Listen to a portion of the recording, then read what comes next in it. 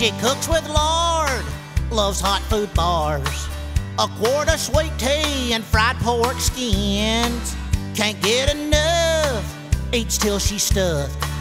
Goes to the bathroom, then she comes back again.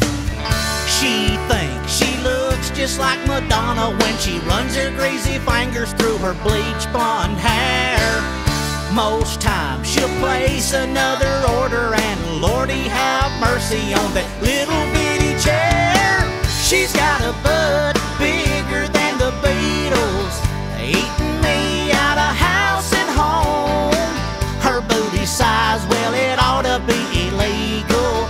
She has a hard time sitting Hamburgers, hot dogs, cheese fries, and coleslaw.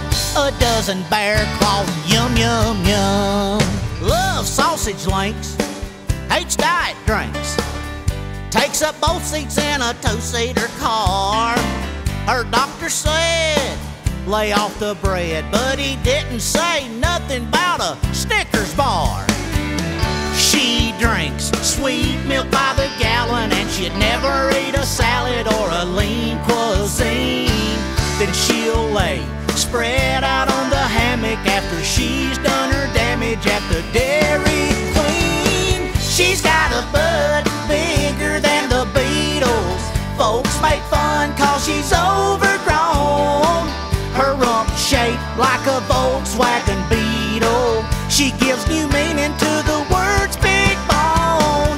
Bagels and cream cheese, vanilla ice cream, a tub of whipped cream, yum yum yum. No, you won't find her name on the weight loss of fame down at Jenny Craig's.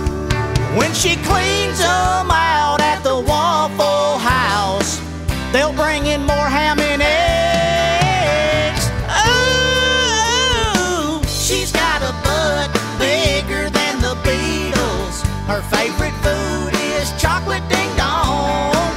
It's wide enough to play linebacker for the Eagles. Deion Sanders better leave her alone. Try chicken that's baked or a fat free milkshake. Enough for God's sakes.